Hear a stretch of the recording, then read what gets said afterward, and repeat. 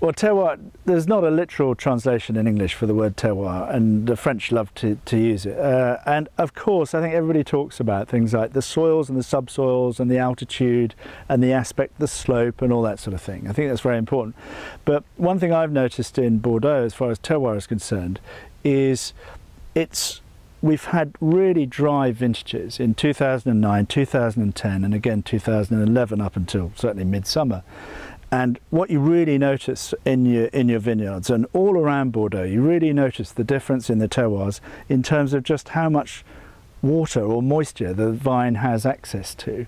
And that's really critical. When you see young vines on gravelly soils, you see they're really parched because we're not allowed to irrigate in any appellation control area of France. We're not allowed to irrigate. Whereas if you go to, say, Marlborough in New Zealand, you'll see irrigation everywhere. We're not allowed to irrigate in France.